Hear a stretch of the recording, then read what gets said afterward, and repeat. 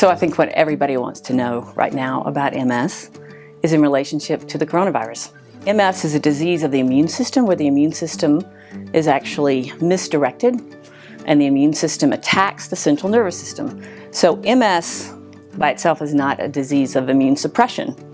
It's actually a disease of an overactive immune system. MS patients are no more likely to get the coronavirus than anyone else. However, because MS is a disease of an overactive immune system, our treatments are geared at calming down the immune system. We have more than 18 drugs out now that treat MS.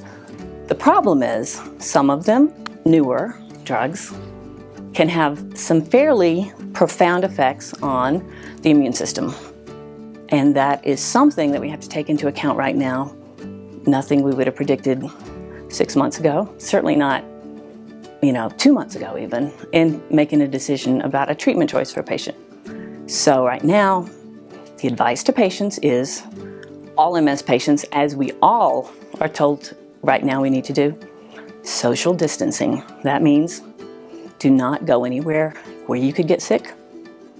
I think that also for a lot of MS patients means, in particular, their families need to be very, very diligent about also following this. It's almost spring break. People want to go on the trips. We're not going on trips. You need to clean your hands. You don't, we're not going to go to concerts now. There are lots of things that people need to do to keep themselves safe. The other thing people uh, with MS on some of these disease modifying therapies to treat their MS need to do is to talk to their neurologist about their drug. Is this a drug to continue right now? If it's something that's given IV, should we wait? Should we delay it? Which drugs have a profound effect, which have less.